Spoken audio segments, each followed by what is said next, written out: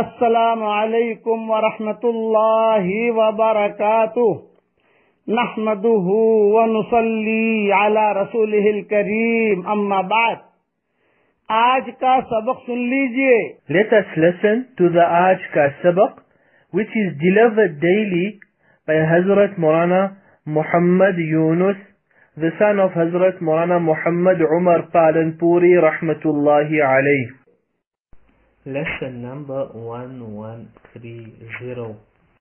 The beauty of Jannat and paradise that Allah subhanahu wa ta'ala will give those people that fear Allah. There will be flowing rivers on the corners of Jannah. In between the trees there will be flowing river.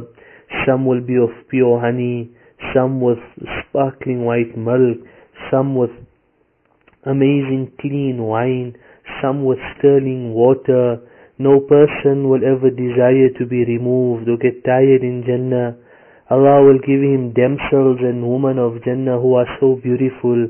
There is no dirt on them, there is no filth on them, they do not relieve themselves, they do not bleed on a monthly cycle, they do not have any sort of smell that is untoward coming from the mouth or under the arms. Allah subhanahu wa ta'ala will make them pure in every regard. Everything that is there will become pure. Husband and wife that were pious and righteous in this world, Allah subhanahu wa ta'ala will make them partners in Jannah and Allah subhanahu wa ta'ala will perform their nikahs to the extent that they say that the woman of this world that is pious and righteous Allah will increase her beauty 70,000 times for her husband. And that is how beautiful Allah subhanahu wa ta'ala will make her. It is our dua from the bottom of our heart that, O Allah, you grant us the Jannatul Firdaus. O Allah, grant us the Jannatul Firdaus. O Allah, grant us the Jannatul Firdaus. From the hadith we learn that person that asks for Jannah three times, Jannah says, Ya Allah, send him to me.